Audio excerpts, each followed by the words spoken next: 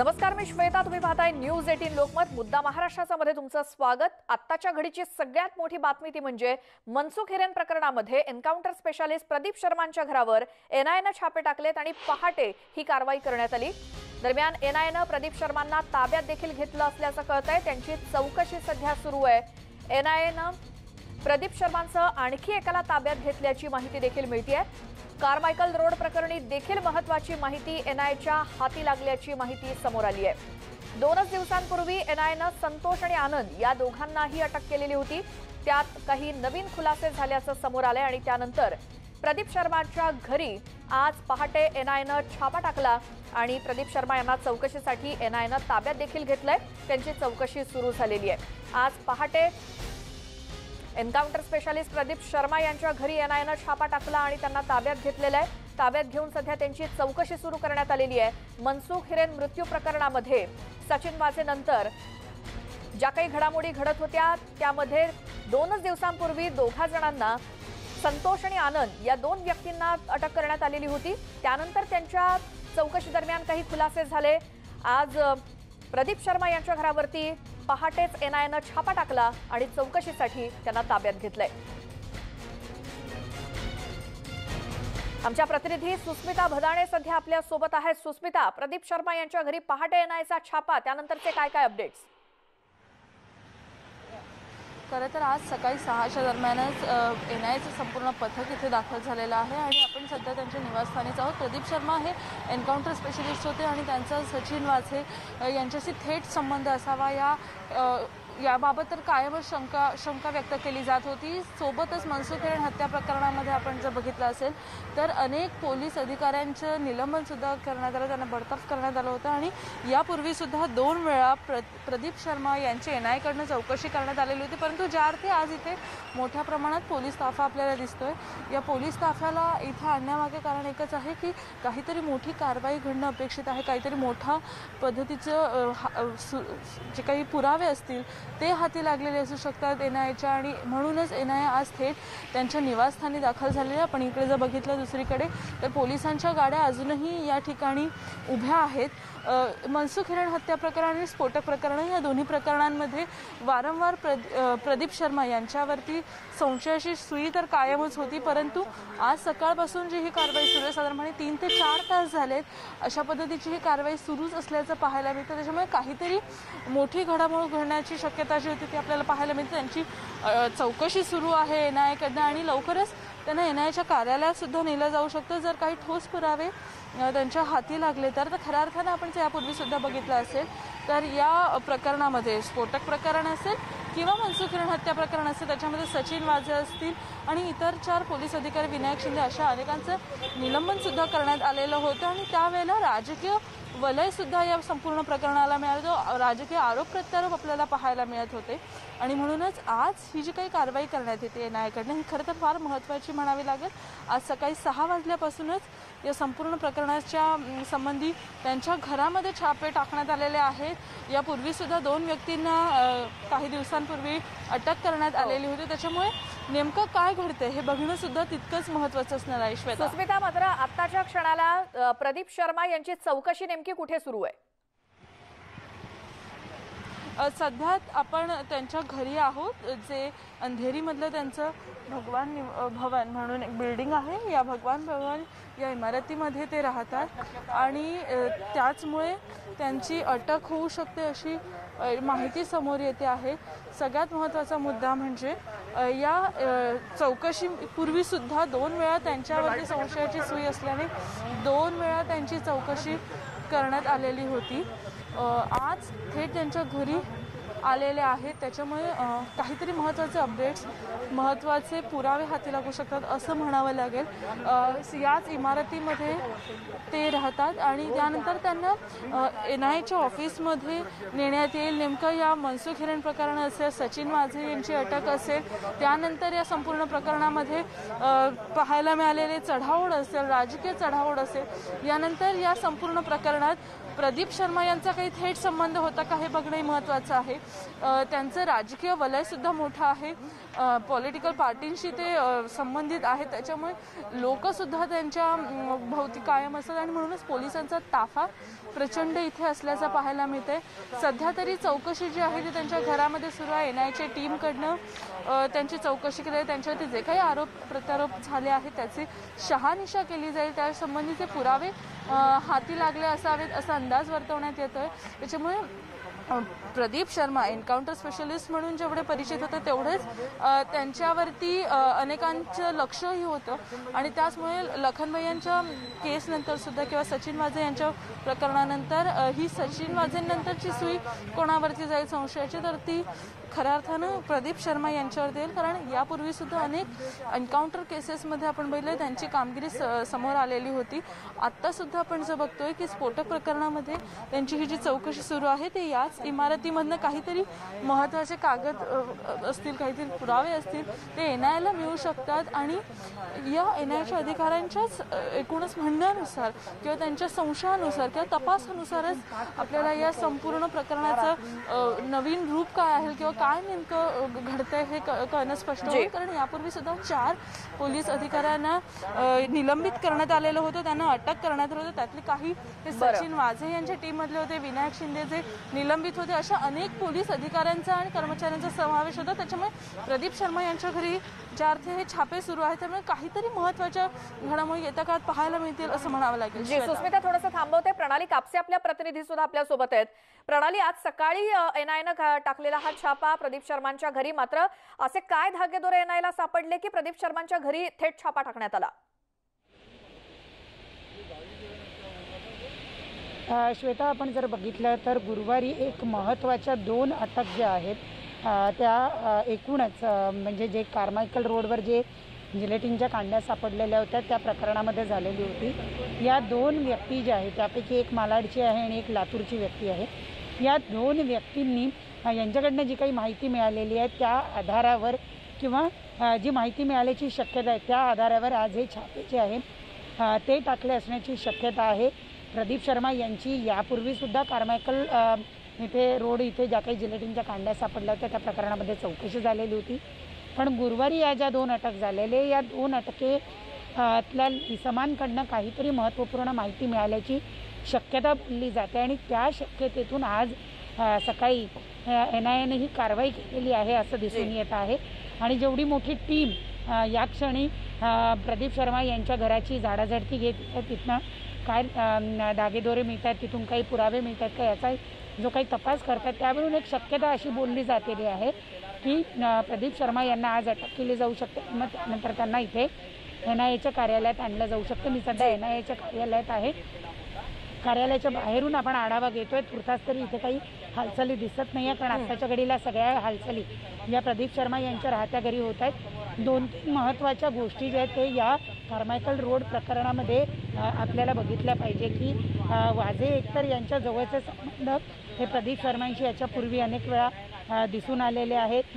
त्यामुळेच त्यांची चौकशी सुद्धा करण्यात आलेली होती. इतकंच नाही तर असं बोललं जातं किंवा असे धागे दोरे पुढे येत आहेत का ते तपासले जात आहेत. मनसुख हिरेन हत्येचा पण संबंध प्रदीप शर्मा यांच्याशी आहे का. याची सुद्धा चाचपणी जी ती केली जाती आहे. आणि त्याचबरोबर जिलेटिनच्या ज्या कांड्या कार्मायकल रोडवर सापडलेल्या होत्या त्या नागपूरवरून आणण्यात आलेल्या होत्या. आणि त्या नागपूरवरून आणत असताना ह्या ज्या दोन व्यक्ती ज्यांना गुरुवारी अटक केलेली होती यांचा काही संबंध आहे का? आणि मुख्य म्हणजे या दोन व्यक्तींचा प्रदीप शर्मा यांच्याशी काही संबंध आहे का? जी. या सगळ्या गोष्टींची चाचपणी आज केली जाते आणि त्याच्या सकाळी ही रेड जी आहे ती प्रदीप शर्मा यांच्या घरी टाकण्यात आली. बरोबर. प्रणाली आणि सुस्मिता दोघे आमच्यासोबत अशाच राहा. आपल्यासोबत माजी पोलीस अधिकारी धनंजय वंजारी जोडले गेले. स्वागत तुमचं सर. न्यूज एटीन लोकमत मध्ये आजची सगळ्यात महत्वाची बातमी हीच की प्रदीप शर्मा यांच्या घरी एनआयचे छापे काय आपली प्रतिक्रिया? प्रदीप शर्मा हे नाव सततच वादात राहिलेलं आहे पोलीस खात्यामध्ये गणवेशामध्ये नोकरी करत असताना ज्या प्रकारची कामं असायला पाहिजे ती नसण्यासाठी हे नाव नेहमी वादात राहिलेलं आहे म्हणजे ती लखनभैया चकमक असेल. किंवा अनेक अशी काही प्रकरणं आहे ख्वाजा युनुस याच्यात कसं आहे की हे जे प्रकरण आपल्याला दिसतंय अँटालिया एक्सप्लोजिव्ह प्रकरण.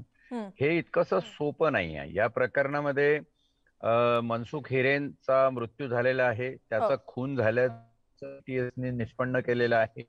त्याच्या खुनामध्ये जो एक अविनाश शिंदे नावाचा कॉन्स्टेबल डिसमिस कॉन्स्टेबल सामील आहे. तो लखन भैयाच्या केसमध्ये यांचा सहकारी होता प्रदीप शर्माचा. म्हणजे कुठंतरी लिंक आहे आणि आजपर्यंत ज्या गोष्टी या तपासामध्ये समोर आणल्या येणार यांनी त्याच्यामध्ये आज ना उद्या प्रदीप शर्माला अटक होणार असं भाकीत अनेक तज्ज्ञ याच्यामध्ये देत असत. आणि मला वाटतं आता ती वेळ आलेली आहे. प्रदीप शर्माला त्यांनी जर ताब्यात घेतलं तर एक पोलीस अधिकारी म्हणून माझा अनुभव असा सांगतो की ती अटकच किंबहुना चौकशीसाठी बोलून सोडून देणं असे प्रकार याच्या आधी एनआयएने त्यांच्या बरोबर केलेले आहे प्रदीप. शर्मा बरोबर पण आज त्यांना ताब्यात घेण्यात आलं. त्याचबरोबर त्यांच्या घराची झाडाझडती सुरू आहे. म्हणजे याच्यातून काहीतरी ठोस असा पुरावा प्रदीप शर्माच्या विरुद्ध एनआयए कडे उपलब्ध आहे आणि त्या आधारे एनआयएने ही कारवाई केलेली आहे असं समजतं एकंदर. बरोबर. मात्र या सगळ्या प्रकरणामध्ये पोलीस दलातल्या अधिकाऱ्यांना जे काही चौकशीला सामोरं जावं लागतंय किंवा त्यांची चौकशी करण्याची वेळ आहे हे किती दुर्दैवी म्हणावं? नाही हे खऱ्या अर्थाने फार मोठं दुर्दैव आहे. मुंबई पोलिसांच्या इतिहासातला हा भला मोठा काळा डाग आहे असं मी म्हणेन. हम्म. दैदिप्यमान लौकिक लाभलेलं मुंबईचं पोलीस दल जगामध्ये जिची वाखाणणी होते. अशा पोलीस दलाचा पोलीस आयुक्त आज वादाच्या भोवऱ्यात सापडलेला आहे. प्रदीप शर्मा आणि अनेक अनेक असे पोलीस अधिकारी काही अटक झालेले आहेत. हे एकंदर बघितलं तर एक प्रश्न पडतो की हे पोलीस अधिकारी गणवेशामध्ये जी कामं करतात ती कामं पोलीस अधिकाऱ्याची आहेत की एका गँगस्टरला शोभावी अशी कामं आहेत? जी. आणि मला हे प्रकरण नुसतं गँगस्टर किंवा काही तकलादू काही कारणासाठी केलेलं असेल असं दिसत नाही. कारण याच्यामध्ये फार मोठी गोची अशी आहे की या प्रकरणात अँटेलिया एक्सप्लोजिव्हमध्ये तिहार जेलमधून एक ईमेल आलेला आहे. जो कुठल्या तरी टेररिस्ट ग्रुप बरोबर या केसचं नातं सांगतो. आणि. दुसरा अतिशय महत्त्वाचा भाग याच्यामध्ये आहे केनित वर्थ नावाची बिल्डिंग जर आपल्या कोणाला माहीत असेल तर ही त्याच एरियामध्ये आहे केनित वर्थ ही होमी भाबांची बिल्डिंग आहे ज्यांनी ती बिल्डिंग दान केली गव्हर्नमेंटला आणि आता त्या बिल्डिंगमध्ये बीआरसीचे म्हणजे भारताचे ॲटॉमिक एनर्जीचे जे टॉप क्लास सायंटिस्ट आहे ते सायंटिस्ट तिथं राहतात हा एकंदर कट त्या सायंटिस्टना काही त्रास देण्यासाठी किंवा त्यांचं काही करून आणण्यासाठी ठेवला नव्हता ना. असं जेव्हा आपण बघतो किंवा एक संशय म्हणून पोलीसची नजर जेव्हा तिकडे जाते तेव्हा हेही निष्पन्न होतं की अरे जर हे इतकं छोटं लुटूपुटूचं प्रकरण असतं वझे गेला तिकडे ठेवले इकडे आले काहीतरी खंडणी जमा एवढं सोपं असतं तर तिहारचा कसं काय त्याच्या ठिकाणी मेल आला असता? आणि नेमकं अशा एरियामध्ये की जिथे भारताचे टॉप क्लास ॲटॉमिक सायंटिस्ट राहतात अशा एरियामध्ये कसं काय हे प्रकरण होऊ शकतं? तर मला वाटतं या ठिकाणी एनआयए कडे हे प्रकरण जे गेलं ते याच कारणास्तव केलं की this is a threat to national security not only to Ambani. आणि त्याच्यामुळं याचा निटोपाट अतिशय सखोल तपास होणं अतिशय महत्वाचं आहे. मी अजून परत एकदा रिपीट करतो हे प्रकरण दिसतं तितकं सोपं साधं नाही. जी.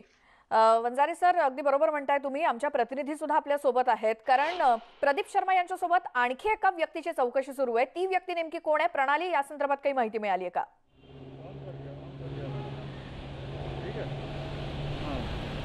नाही अजून त्या संदर्भात माझ्याकडे तरी काही माहिती उपलब्ध नाही. तुर्तास जी आहे ती प्रदीप शर्मा यांचीच चौकशी केली जाते अशी माहिती मिळते दुसरं म्हणजे ज्या व्यक्तींना गुरुवारी अटक करण्यात आलेली होती त्यांच्याकडून काहीतरी महत्त्वाची माहिती मिळाली असण्याची शक्यता वर्तवली जाते आहे. जे चर्चा चालू आहे त्या चर्चेबद्दल मी तुला असं सांगते की चर्चा अशी आहे की या दोन व्यक्तींना हायर करण्यात आलेलं होतं. नागपूरमधून ज्या काही जिलेटिनच्या कांड्या आहे त्या मुंबईपर्यंत आणण्याची जबाबदारी या दोन व्यक्तींवर देण्यात आलेली होती. आणि ही जबाबदारी मुंबई पोलीस दलातल्या महत्त्वाच्या अधिकाऱ्यांनी दिली होती. आणि तो अधिकारी प्रदीप शर्मा असण्याची शक्यता वर्तवली जाते किंवा तशा चर्चा चालू आहे. आणि त्याच्यामुळं त्या दोन व्यक्तींचा प्रदीप शर्मा यांच्याशी कसा संबंध आला काय संबंध आला? एक व्यक्ती लातूरची आहे एक व्यक्ती मालाडची आहे. दोन या दोन व्यक्तींना काय या संपूर्ण प्रकरणामध्ये पुढे आणण्यात आलं किंवा या दोन व्यक्तींवर ही एवढी मोठी जबाबदारी का सोपवण्यात आली? त्यांचा काय संबंध? या सगळ्या गोष्टी ज्या आहेत या तपासल्या जात आहेत आणि या तपासल्या जाणाऱ्या गोष्टीतून प्रदीप शर्मा यांचं नाव पुढं आल्याची शक्यता आहे आणि त्यातून आज हा सगळा जो तपास आहे तो केला जातो. याच्या पूर्वीसुद्धा चौकशी झालेली होती पण त्या अ, चौकशीसारखी ही चौकशी दिसत नाही. आहे काहीतरी महत्त्वाचे धागेदोरे जे आहेत जी. ते एन आय एच्या हाती आलेले आहे आणि त्यामुळे आज सकाळी सकाळी सहा वाजतापासून ह्या छापे टाकायला सुरुवात झाली जी. असं दिसून येते श्वेता. बिलकुल. सुस्मिताकडे जाऊया. सुस्मिता तुमच्याकडे काय अपडेट्स आहेत? अ, खरं तर आपल्याला माहिती आहे की एन आय कडनं सकाळपासून साधारणपणे आता चार तास झाले तरी ही चौकशी सुरू आहे. या प्रकरणामध्ये यापूर्वी सुद्धा चार पोलीस अधिकाऱ्यांचं निलंबन किंवा त्याच्यावरती कारवाई करण्यात आलेली होती. त्यांच्यामध्ये सचिन वाझे हे प्रमुख होते. त्याचबरोबर त्यांच्यासोबत क्राईम ब्रँचमध्ये काम करणारे सुनील माने असतील रियाज काझी असतील आणि बुकी जे नरेश म्हणून होते त्यांचा सुद्धा समावेश होता या संपूर्ण प्रकरणामध्ये मुळात म्हणजे यात एक गोष्ट बघायची आहे की यापूर्वी जे दोन अटक झालेले आहेत त्याच्यामुळे शिवसेना असेल किंवा राजकीय इतर पक्ष असतील यांचा थेट आरोप हा प्रदीप शर्मा यांच्यावरतीच राहणार आहे. कारण ज्या पद्धतीने या संपूर्ण प्रकरणामध्ये नवनवीन पैलू आपल्याला पाहायला मिळत आहे ज्याच्यात आपण मुख्यत्वे बघितलं होतं की यापूर्वी सुद्धा साधारणपणे दोन आरोपी जे होते ज्यात संतोष आत्माराम शेलार आणि आनंद पांडुरंग जाधव या दोन आरोपींना सुद्धा अटक करण्यात आलेली होती. त्यांची चौकशी एन आय कडनं होत होती. आता ज्या अर्थी प्रदीप शर्मा यांच्या घरावरती छापे टाकण्यात आले आहेत त्याचा अर्थ हाच आहे की काहीतरी ठोस पुरावे काहीतरी ठोस कारण असल्याशिवाय एवढ्या मोठ्या प- पद्धतीची कारवाई करण्यात येत नाही. अकरा जूनला या दोन व्यक्तींना अटक करण्यात आलेली होती. त्याच्यामध्ये जे संतोष आहेत आणि आनंद या दोघं व्यक्तींसोबत जेव्हा चर्चा करण्यात आली त्यांच्याकडनं काही अ, महत्त्वाचे डिटेल्स मिळतात की नाही हे तपासण्यात आलं. त्यानंतरच आजचं जे कारवाई आहे ती करण्यात येते असं म्हणावं लागेल. कारण इथे पोलिसांचा ताफा सुद्धा प्रचंड आहे. एकूणच प्रदीप शर्मा यांचं पोलीस खात्यामधलं वर्चस्व किंवा यापूर्वीची प्रकरणं आपण जर बघितलं तर कायमच वादग्रस्त आणि संशयास्पद भूमिका अनेक प्रकरणांबाबत त्यांच्याविषयी होती. अनेकदा संशय त्यांच्यावरती काही प्रकरणांमुळे घेण्यात आला लखनभाई या केस असेल. किंवा सचिन वाझे यांच्या सोबत त्यांचे असणारे घनिष्ठ संबंध या सगळ्याच प्रकरणामुळे कुठेतरी प्रदीप शर्मा यांच्यावरती एन आयची संशयाची सुई ही कायमच होती. परंतु सध्या आपण जो बघतोय त्यांच्या घरावरती ज्या अर्थी छापे टाकण्यात आलेले आहेत त्या अर्थी त्यांची अटक होऊ शकते किंवा एन आय त्यांना ताब्यात घेऊ शकतं असं सुद्धा म्हणावं लागेल ती शक्यता सुद्धा नाकारता येत नाही त्यामुळे त्यांच्या संबंधी काही महत्त्वाचे पुरावे मिळतात का हे बघणं आजच्या दिवसामध्ये खरं तर खूप महत्वाचं. असणार आहे. आपल्यासोबत धनंजय वंजारी सर आहेत. सर आपण आमच्या प्रतिनिधींनी सांगितल्याप्रमाणे म्हणजे तुम्ही देखील ऐकलं तर नागपूरमधनं ज्या काही जिलेटिनच्या कांड्या आणल्या होत्या मुंबईमध्ये सापडल्या होत्या त्या एका पोलीस दलातल्या अधिकाऱ्यांनीच ही जबाबदारी या संतोष आणि आनंद जे मगासपासून आपण बोलतोय त्या दोन व्यक्ती ज्यांची चौकशी गेल्या दोन दिवसांपासून सुरू आहे त्यांच्यावरती ही जबाबदारी देण्यात आली होती. आता त्यांची जर कसून चौकशी केल्यानंतर जर काही नावं समोर आली असतील तर मग प्रदीप शर्मांच्या घरी छापे टाकण्यात आलेत का? याचं कनेक्शन कुठे जोडू शकतो का?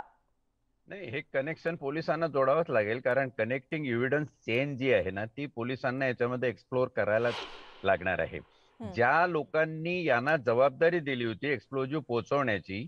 त्या लोकांची नावं यांच्याकडून निष्पन्न झालीच पाहिजे त्या. दृष्टीने एनआयए तपास करत आहे निष्पन्न होण्यासाठी नुसता जबाब चालणार नाही तर त्यांना त्यांचे टेलिफोन कॉल सीडीआर रेकॉर्ड त्यांचं ट्रॅकिंग त्यावेळी तो कुठे होता त्या त्या दिवशी त्याचं नेमके कोणाशी बोलणं झालं? आणि ही जी माणसं आहेत निश्चितच ज्या माणसांनी पोलीस खात्यातले वर्किंग पोलीस अधिकारी स्वतःच्या हुकमानी आपलं एक्सप्लोजिव्ह ट्रान्सपोर्ट करण्यासाठी वापरले तो निश्चितच फार प्रबल आणि मोठा माणूस असणार. त्याच्यामुळं त्याचं कनेक्शन हे एनआयए ला फार निटोपाट चांगल्या पद्धतीने पुरावा गोळा करून निष्पन्न करावं लागणार आहे. आणि मला वाटतं त्यासाठीच तू म्हणाली तसं बरोबर आहे की आज जे छापे टाकण्यात आले त्यातून पोलिसांना काहीतरी याचे धागे मिळतील. अशी एक साधारण आशा आहे. दुसरं एक फार महत्वाची लिंक या ठिकाणी आपण लक्षात घेतली पाहिजे की हे जे एक्सप्लोजिव्ह आहे जे सापडले ज्या काही कांड्या सापडल्या त्या नुसतं मोकळ्या कांड्या होत्या. तेव्हा अनेक लोक असं म्हणाले की ह्या मोकळ्या एक्सप्लोजिव्ह कांड्या म्हणजे काही बॉम्ब नव्हे. जोपर्यंत याला डिटोनेटर लागत नाही तोपर्यंत याचं बॉम्बमध्ये रूपांतर होऊ शकत नाही. तर मला आठवतं मार्च महिन्याच्या शेवटच्या आठवड्यामध्ये भिवंडीला एका गोडाऊन मध्ये पोलिसांनी रेड टाकली. हा पण छापा मुंबईच्या पोलिसांच्या इन्फॉर्मेशनवर केंद्रीय पोलिसांच्या थ्रू करण्यात आला. त्या ठिकाणी तीनशे किलो जिलेटिन तर सापडलं सापडलं पण जिवंत डिटोनेटर सापडले. म्हणजे बॉम्ब तयार करण्याचं मेकॅनिझम कुठंतरी तयार झालेलं आहे. किंबहुना एखादा सव्वीस अकराचा किंवा मी म्हणालो तसं केनित वर्थ सायन्स टार्गेट करणं. काहीतरी असा भला मोठा घातपात भारतावर पर्टिक्युलरली मुंबईवर लादला. कारण मुंबई एक एवढं महत्वाचं शहर आहे. देशाची आर्थिक राजधानी की मुंबईत जर एखादं काही घडलं तर जगभर न्यूज होते. हो. म्हणून दहशतवादी संघटनांचं मुंबई हे नेहमी टार्गेट असतं. आणि एकंदर ज्या घटना घडत आहेत आता या घटना घडलेल्या दोन स्वरूपाच्या आहेत खूप लोक एंटरटेन म्हणून ते खंडणी प्रकरण खंडणी प्रकरण चघळतात कोर्टात मला वाटतं खंडणी प्रकरण हे थोडस नजरेआड करून तुम्ही घातपात आणि एक्सप्लोजिव्ह डिटोनेटर बॉम्ब या दृष्टीने जर याचा विचार कराल तर. हे निश्चितच फार मोठ्या भयंकर अशा कटाचा छडा एनआयला या ठिकाणी लागणार आहे एनआयने किंबहुना तो लावलाही आहे. आता धागे दोरे पकडून आशा एकच आहे सर्वसाधारण जनता आज जे तुमचं आयबीएन न्यूज चॅनल बघतोय त्यांना हे एकच वाटतं की याच्यातले खरे सूत्रधार कोण आहे? मग ते कितीही मोठ्या रँकचे असो कुठल्याही लेवलचे अधिकारी असो किंवा शासनातले काही लोक असो किंवा काही मंत्री असो त्या कोणालाही सोडलं नाही पाहिजे कारण हा राष्ट्रीय चा आणि नॅशनल सिक्युरिटीचा प्रश्न आहे. एवढं मात्र निश्चित. वंजारे सर अगदी एका छोट्याशा ब्रेकची वेळ झाली आहे. आमच्या प्रतिनिधी सुद्धा आपल्यासोबत आहेतच सगळे अपडेट घेण्यासाठी. एक छोटासा ब्रेक घेऊन लगेच परततोय पाहत्रा मुद्दा महाराष्ट्राचा.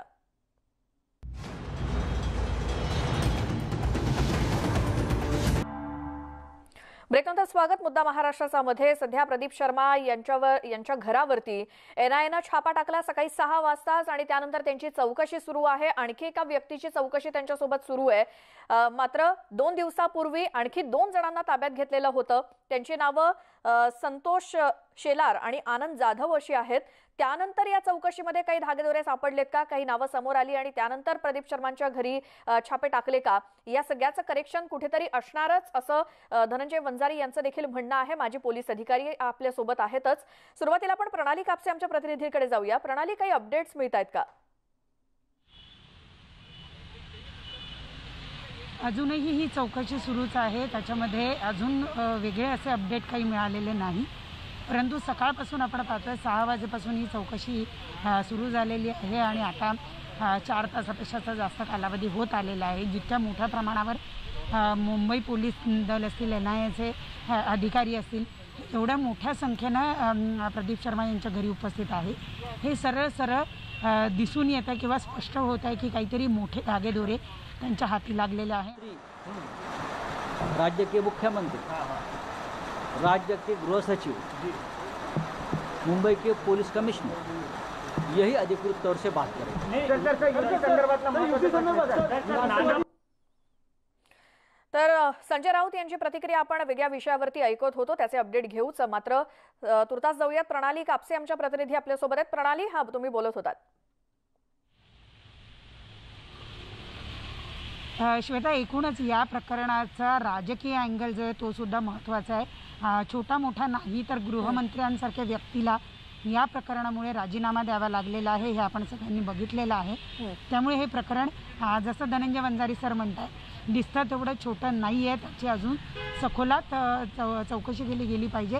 त्यांचा हाही मुद्दा एक पटण्यासारखा आहे की केवळ खंडणीपुरतं हे प्रकरण नाही सातत्यानं हे खंडणी प्रकरण आहे हे खंडणी प्रकरण आहे. अशा पद्धतीनं या चौकशीचा जो फोकस आहे तो चेंज करण्याचा प्रयत्न जाणीवपूर्वक केला जातोय का? त्याला काही राजकीय कारणं आहेत का? कारण नाही म्हटलं तरी या दोन्ही व्यक्ती मग ते वाझे असतील किंवा प्रदीप शर्मा असतील यांचा संबंध आजच्या घडीला सत्ताधारी असलेल्या शिवसेनेशी असल्याचा आणि जवळचा असल्याचा हे सगळ्यांना माहिती आहे. त्यामुळं या प्रकरणाचा अँगल जाणीवपूर्वक वळवला जातोय का? हे सुद्धा बघणं महत्त्वाचं आहे.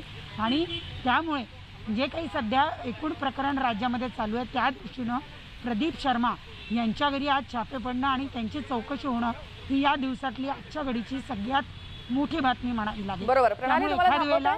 महाराष्ट्राच्या राजकारणात राजकीय भूकंप सुद्धा होऊ शकतो. बरोबर आहे. आपल्यासोबत माजी पोलीस अधिकारी धनंजय वंजारी सर आहेतच. सर आता चौकशी तर सुरू आहे. चौकशी जेव्हा पूर्ण होईल त्यानंतर आपल्याला काहीतरी अपडेट मिळतील की नेमकी कशासाठी किंवा काय या चौकशीचं कारण? मात्र मगाशी तुम्ही ब्रेकवर जाण्यापूर्वी जे म्हणाला होतात की भिवंडी आणि त्या जिलेटिनच्या मोकळ्या कांड्या आणि भिवंडीमध्ये सापडलेले डिटोनेटर त्यामध्ये एक ऍड करायचं होतं की काही दिवसा म्हणजे एक महिन्यापूर्वी कदाचित मुंबईमध्ये सात किलो युरेनियम सुद्धा जप्त केलेलं होतं जे अणुबॉम्ब तयार करण्यासाठी वापरलं जातं. अगदी खरंय. अगदी खरंय. हे मी मुद्दाम कसं आहे या पोलीस अधिकारी म्हणून बोलताना ही काळजी घ्यावी लागते की तपास या केसचा सुरू आहे.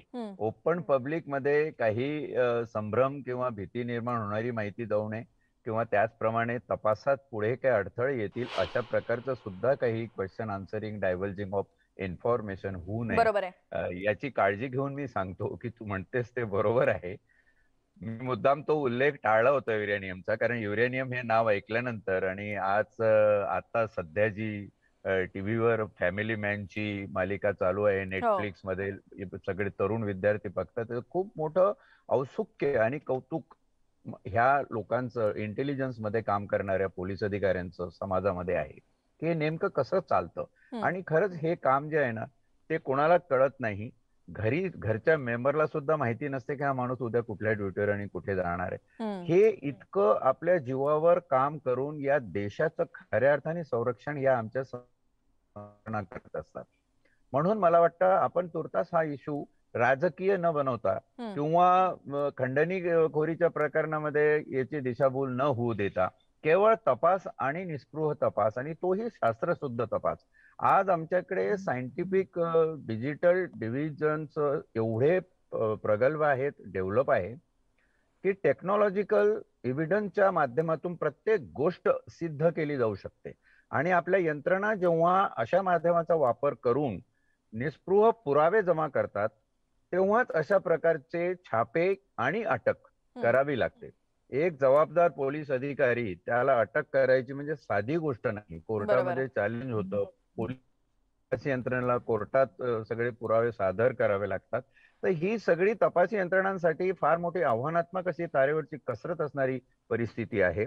आणि त्या परिस्थितीमध्ये मला आनंद खूप आहे जरी एका बाजूला मुंबई पोलीसचं नाव हे होत असेल तरी मुंबई पोलीसचे युनिट आज एनआयला मदत करत आहेत आणि त्यांच्या तपासातूनच हा कट जो आहे तो निष्पन्न होईल आणि खऱ्या अर्थाने हा दहशतवादी कट जर असेल तर. याचे धागेदोरे मग त्या राजकीय असो किंवा कितीही मोठा श्रीमंत धनदांडगा उद्योगपती असो किंवा कितीही मोठा राजकारणातला प्रबल माणूस होतो मला वाटतं त्याला सुद्धा याच्यामध्ये स्पेअर करू नये त्याला सुद्धा याच्यात अटक झाली पाहिजे. सव्वीस अकराचा जो सव्वीस अकराचा जो दहशतवादी हल्ला आपण बघितला त्यावेळच्या आर आर पाटील त्यांना राजीनामा द्यावा लागला होता.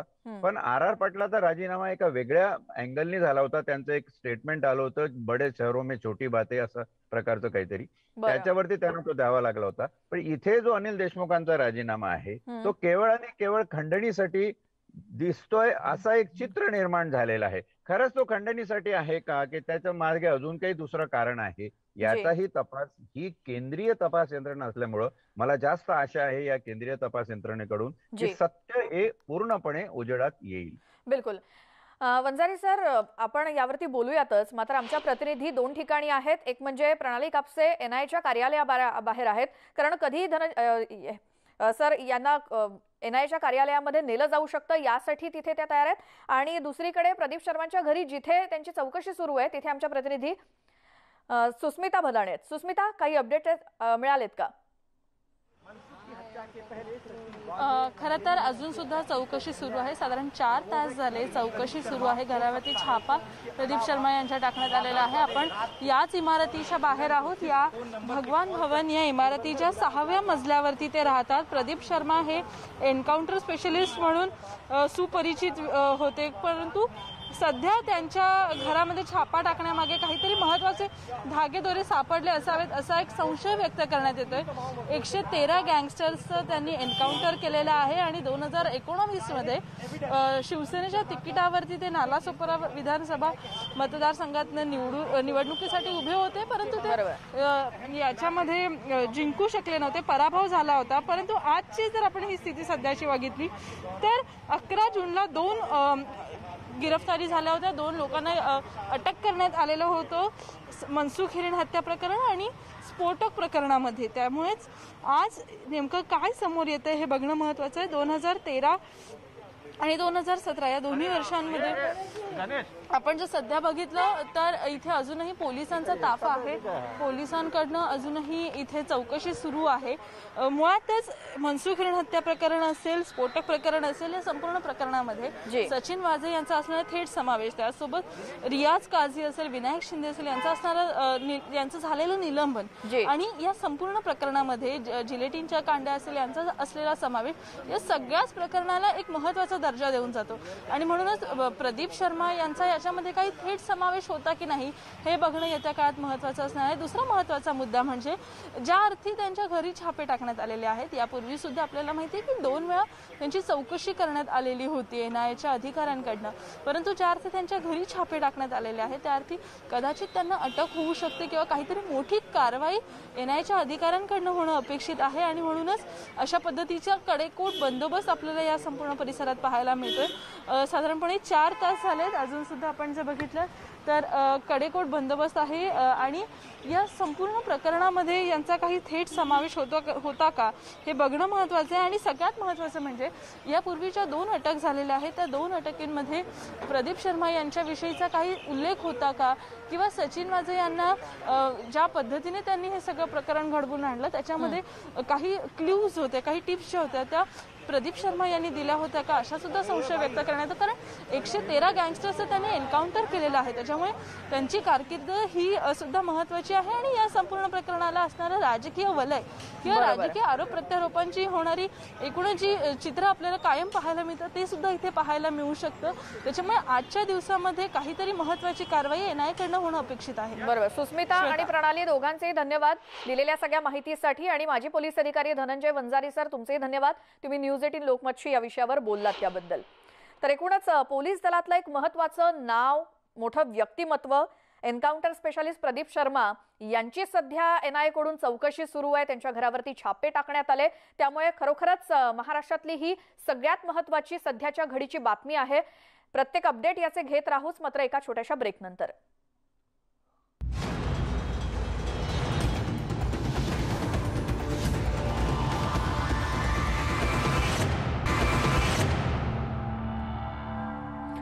ब्रेकनंतर स्वागत. मुद्दा महाराष्ट्राचा मध्ये यानंतर एक महत्वाची बातमी येते नागपूरमधून.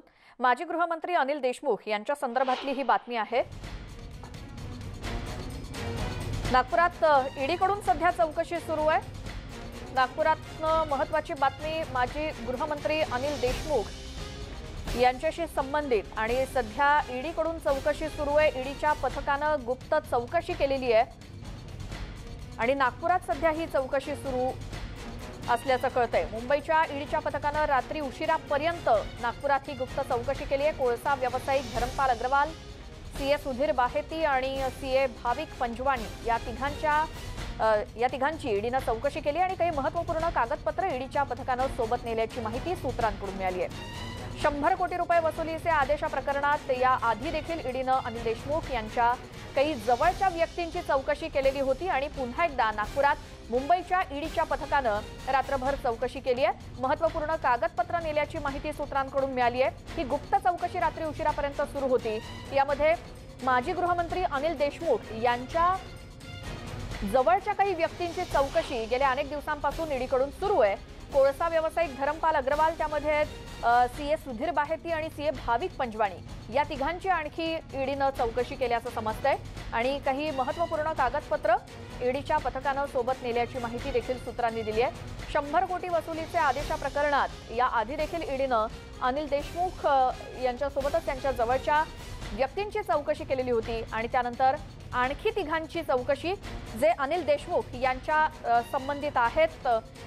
त्या अनिल देशमुखांशी जवळचे संबंध असलेल्या आणखी तिघांची चौकशी त्यामध्ये दोन सीएचा देखील समावेश आहे. प्रत्येक बातमीचे सविस्तर अपडेट आपण घेत राहूयाच. मात्र तुर्तास झाली एका छोट्याशा ब्रेकची वेळ. पाहत राहा न्यूज एटीन लोकमत.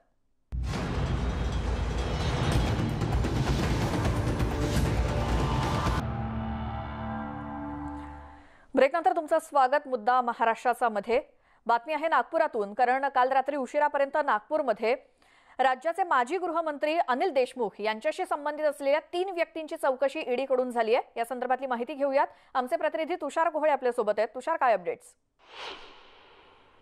जर का बघायचं झालं अत्यंत महत्त्वाची बातमी म्हणावं लागेल कारण की अनिल देशमुख यांच्या अडचणीमध्ये वाढ होताना दिसत आहे. काल अत्यंत गुप्तपणे मुंबईच्या ईडीच्या पथकाने नागपूरमध्ये ही कारवाई केलेली आहे. साधारण तीन लोकांवर कारवाई केलेली आहे. यामध्ये कोळसा व्यावसायिक धरमपाल अग्रवाल आहे. सी ए सुधीर बाहेती आहे आणि या व्यतिरिक्त सी ए भाविक पंजवानी आहे. हे तिघही अनिल देशमुख यांच्या जवळचे मानले जातात आणि ईडीच्या पथकाने अत्यंत गुप्तपणे ही कारवाई केली. रात्री उशिरा कुठेतरी नागपूरच्या काही लोकांना या संदर्भात माहिती झाली आणि रात्री खूप उशिरापर्यंत ही कारवाई होत होती. जर का बघितलं तर जी सूत्रांनी माहिती दिली त्यानुसार अत्यंत महत्त्वपूर्ण डॉक्युमेंट या कारवाईमध्ये ईडीच्या हाती लागलेले आहे आणि ते त्यांनी जप्त केल्याचं देखील सांगितलं जात आहे. जर का बघायचं झालं तर पंचवीस मेला याआधी देखील अनिल देशमुख यांच्या जवळचे जे तीन लोक होते म्हणजे सागर भाटेवार असेल समित आयझॅक असेल किंवा जोहर कादरी असेल यांच्यावर देखील तेव्हा कारवाई करण्यात आली आणि त्या कारवाईत देखील महत्त्वाचे डाग डाकू कागदपत्र ईडीच्या हाती लागलेले होते आणि त्या आधारावरच ईडीचा पुढचा जो तपास सुरू होता आणि त्याच तपासाचा एक भाग म्हणून कालची ही कारवाई होती. अत्यंत महत्त्वपूर्ण कारवाई मानली जात आहे कारण की ज्या प्रकारचे कागदपत्र ईडीच्या हाती लागलेले आहेत त्यामुळे निश्चितच माजी गृहमंत्री अनिल देशमुख यांच्या अडचणीमध्ये वाढ होण्याची शक्यता व्यक्त केली जात आहे. एकंदरीत हे संपूर्ण जर का प्रकरण बघायचं झालं तर जे शंभर कोटीच्या वसुलीचा जो आरोप परमवीर सिंग यांनी अनिल देशमुख यांच्यावर केलेला होता. आणि त्या संदर्भात सीबीआय आणि ईडी हे दोन्हीही संस्था या संपूर्ण प्रकरणाचा चौकशी करत होती. आणि त्याच चौकशीतला भाग म्हणून काल ईडीने ही कारवाई केलेली आहे. धन्यवाद तुषार दिलेल्या माहितीसाठी अपडेट आपण वेळोवेळी घेत राहूच या सगळ्या प्रकरणातले. तुर्तास धन्यवाद. आणि या बातमीसोबतच वेळ झाली आहे. मुद्दा महाराष्ट्राचा मध्ये इथेच थांबण्याची. मात्र एकीकडे एनआयकडून असलेला प्रदीप शर्मा यांच्या यांची चौकशी त्यांच्या घरावरती टाकलेला छापा या प्रकरणातल्या काही बातम्या किंवा व्हिडिओ जर तुमच्या पाहायचा राहून गेलं असेल तर तुम्हाला ते पुन्हा पाहायला मिळतील. न्यूज एटीन लोकमतच्या यूट्यूब चॅनलला त्यासाठी सबस्क्राईब करा आणि तिथे तुम्हाला या बातम्या पुन्हा पाहता येतील. त्यासोबत ट्विटर आणि फेसबुकवरती आम्हाला फॉलो देखील करा. पाहत राहा न्यूज एटीन लोकमत.